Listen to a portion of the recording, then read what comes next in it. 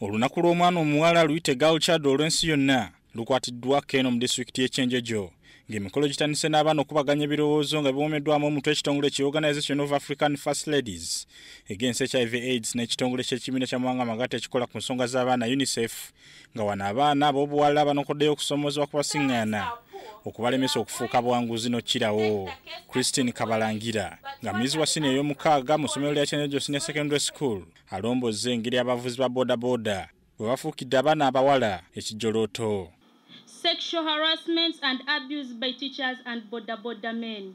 And the police officers, let me call it, they decide to leave these offenders to go and the result is these people are coming back. They will come laugh at us and next time they are going to continue defiling us and raping us. Wabula bino olugudde matu ga babodaboda ne bategeeza nga abaana bana bwe batabakaka. Wabula okubakakanga okubatwalako saako n'okubasabiriza ensimbi. Olutata. Aa ite tetuswera abaana ba bodaboda ekitukitaaha itu hanu kyenjojo aa itu ekitukigira mu bwomezi bwaitu akuba ntumanya ogu mwana ite tuswera abakazi abakuru owulire itu eki ekyobwana butegi development. Ee tubaswera habwokuba nubu bakutwema kurraho mbayenda sente. Na bajaja zaitu nzoro banzinyerera ee ogenda okwesanga nga ye akemebwa kubanga bwafuna omuntu namuwa emitwalo ng'ebiri ng'atayagala simu ng'azitwala ekiddako okusasula asasula mubiri kwe kusaba abazadde okulabira abaana baabwe okwewala okugwa mu butego. Abazaire abaana abaisiki tebakubaha sente pakitemani hansaho nahabweki abaisiki nibafuna kwegomba ababoda mbabaha sente. Hanyuma abazaire tusanga omusango uriho abazaire. Hakuba abazaire abaana mbabanagiriza muno tebakubaha pakitemani ebiragiro tibirukukora obakubatwara kale obakubatwara mu biragiro nibongera mbagulirira mbabalekera.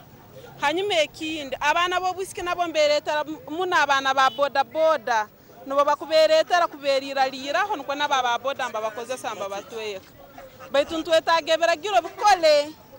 Judith kebirungi nga muyizi mu sini eyokusatu mu ssomero lya st andrews high school katoosa kwe kulabula abawala banne okubeera abagezigezi nga bewala amalindirizi gano You're going to school, we meet those obstacles like the border border men. They say, you, you look at her. She has big breasts. She's going to school. What is she going to do? But we as girls, we are saying we are going to remain focused. Say no. Write that word no on our faces. That no is a no.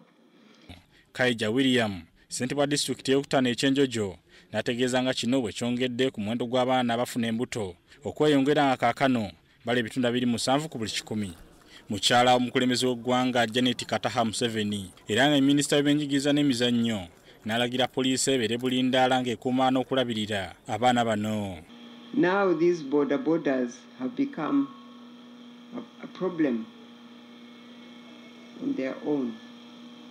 But the police in our society are so distant from our, our, our problems, the problems of the society. They, they are supposed to protect these young children.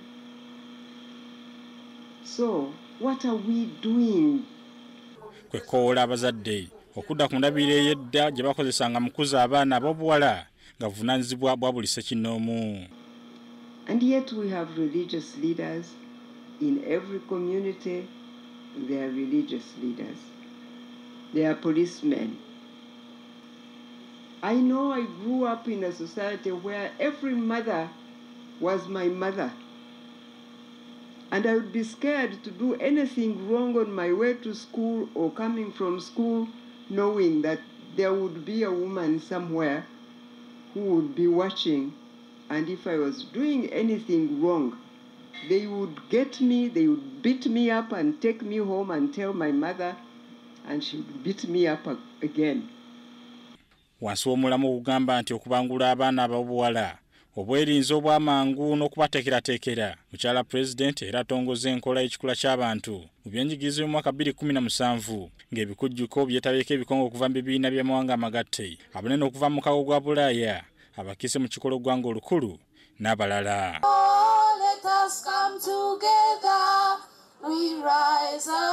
girls. Mm. benard higa kyenjojo